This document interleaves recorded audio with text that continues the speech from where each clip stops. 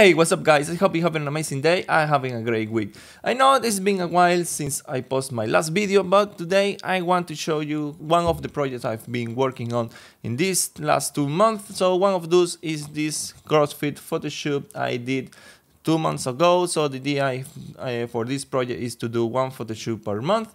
And here I just wanted to show you some of the behind the scene of the first photo shoot I did, as well as I make a little bit of the video. This was an event, this was a Murph. If you don't know about Murph, is basically a name of a workout in a CrossFit. Is 100 pull-ups, 200 push-ups, and then 300 squats. So that was the people aiming for that day. I just want to document everything and take photos and create good memories for that day. So let's carry on and see what else we have here and show you some behind the scenes of the photo shoot on that day. So first you can see this was the third hour.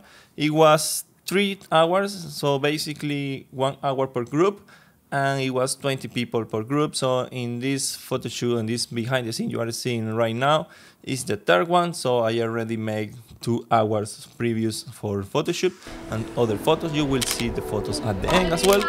So you can notice I just walk around looking for a good point, good angle to see which one is the perfect action and the perfect moment to capture that movement, the exercise. This workout is really hard, so you can see the struggle during the workout.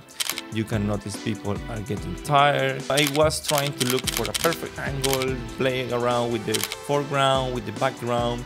The only difficult things here because people were outside and other ones were inside doing the workout. So when I get out, I sometimes forget about the the setting of the camera. So it was setting for uh, shadows a dark. And then when I get out it was overexposed. And then the other way around when I get in then the photos were underexposed to dark. So just keep in mind those when you're inside indoors and outdoors. And remember just to switch between them. And you won't miss any good moment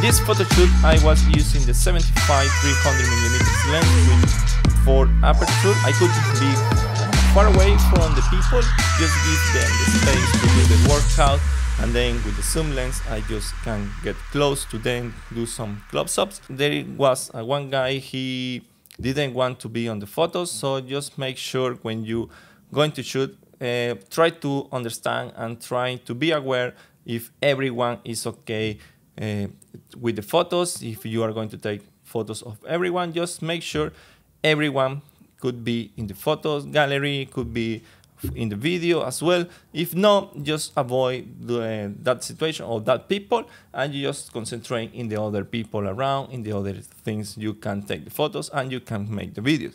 So that was the situation in that day. So let me know in the comments your experience, if you have done any sport photography and what kind of sport photography you have done. If you're doing cycling, running, uh, gym, CrossFit, or any other exercise. I would like to do one of running.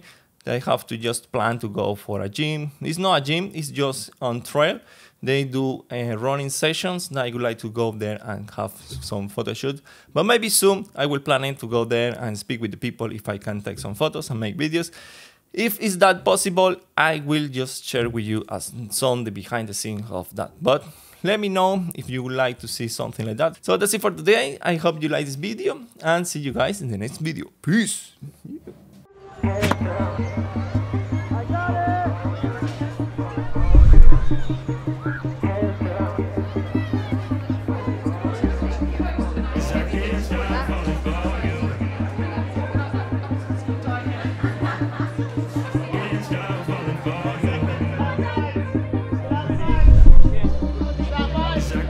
Falling